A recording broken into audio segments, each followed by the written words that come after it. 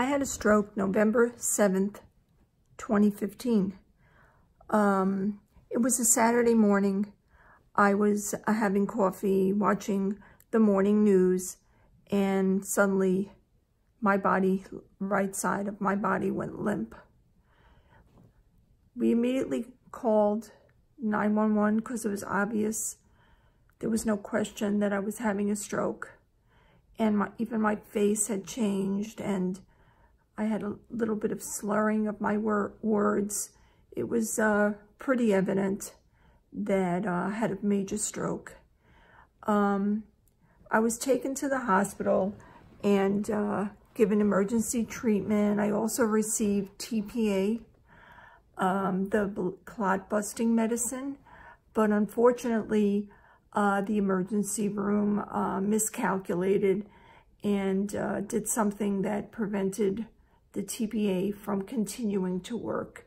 So consequently, um, I was left with right side paralysis and um, mainly in my hand and arm and also my leg was pretty bad, but my hand and my arm were the worst.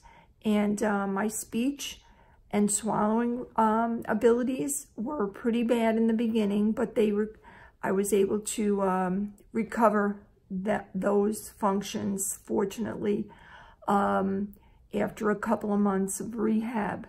Um, I, um, I also, so it's been approximately three years and uh, eight months since my stroke. I'm doing a lot better but I'm still um, walking with a AFO and uh, I use my hand, my arm, but um, not for much. It's still uh, heavy and I can't use my fingers and um, I occasionally get Botox to help me. But I, um, I have been using Flint uh, Rehab's uh, FitMi. I bought it um, I guess I bought it six months ago and um, it really is useful in conjunction with a lot of other things that I do. Um, I use it mainly to help me with my hands and to give strength to my wrist and my my um, fingers, uh, get my fingers to move. I to They curl around the disc and uh, it forces me to use my arm and fingers. Um, I also use it in conjunction with um, electric stim, which helps me a lot.